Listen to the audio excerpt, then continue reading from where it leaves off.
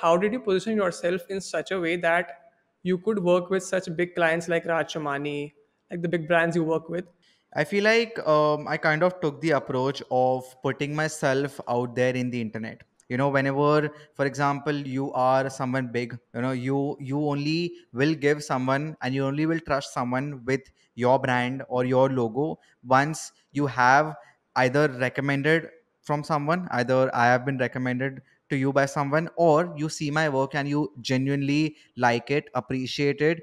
And that credibility that trust factor comes when you have a community online when you have a very online very good presence online. So yeah cheez ke sabse i had an upper hand and there was a good friend of mine vedika. She was working with raj as their linkedin management um, team so Vedika was a good friend and I connected to her through Instagram itself and yeah Raj was just asking her do you have any logo designer I want to get my design done and Vedika knew me so she gave my number and Raj instantly followed me on Instagram and like that. For Ashneer, I think the thing was maybe he saw one of my reels where I'm designing a logo. So what I do is I make sure whatever I put on the internet, on Insta, Twitter, LinkedIn, anywhere. Now it's called X. Sorry, wherever I put there on um, any social media platform.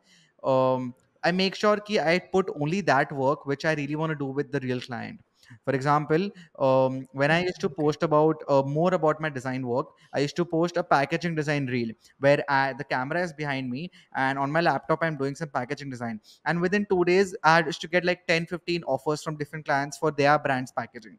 So the amount and the niche of work you put on the internet now that exactly is going to convert in a real client and get back to you.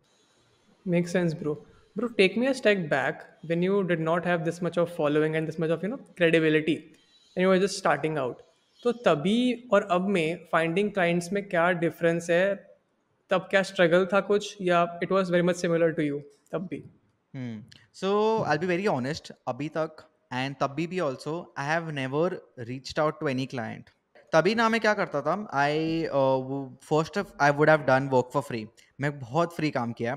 Like I lot of people advice करते हैं कि never work for free but I always say कि do work for free उससे दो चीज़ होती है। पहली चीज़ होती क्या है people respect you to that you have given your time and not asked for anything for return Hmm, as right. if they have done a fa- favor for you. And that's like a one up on them. So next time अगर वो किसी और को काम निकालवाना है so you like okay I did this for you can you please do this for me and whenever I work for free I always make sure की when I am working with for free for them I first tell them की I am doing this for free I don't usually do this even though मैं free में काम करता हूँ मैं उनका सब बोलता हूँ कि I don't usually work for free but मैं आपके लिए कर रहा हूँ. And in exchange I will just want you to recommend to five other people like आपके कोई पाँच दोस्तों को हम्म। पाँच रिलेटिव को या पाँच बंदों को बता दो कि मैं कौन हूँ? मैं क्या करता हूँ? मेरा काम जो मैंने आपके लिए किया है just show that work to them just tell them but one one condition पे डोंट टेल देम मैंने आपके लिए फ्री में काम किया. You know that is the thing. I tell them कि ये करो it will be a huge favour for me and एक फ्री काम करने से I get five other conversion of clients which are ready to pay me and होता क्या है? Word of mouth is the best way of communication अभी कितने भी Yeah. बड़े इन्फ्लुएंसर्स मिलियन फॉलोअर्स बोल दे कि बाय दिस कोर्स ये खरीदो ये यूट्यूबर को देखो. हज़ार में से दस लोग देखे गए। बट अगर भी आप वो दस जन को जो आपके दोस्त है उनको जाके बोलो कि मैंने मेरा काम इनसे कराया है कराना तो इससे कराना। ठीक है? सही बंदा है या बंदी है। हम्म। तो दस में से एटलीस्ट एट आपके पास आएगा